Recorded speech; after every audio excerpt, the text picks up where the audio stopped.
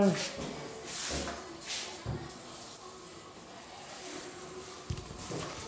Nephew and niece time the best. The book is doing half hours. Peace out. We won't have time to say goodbye.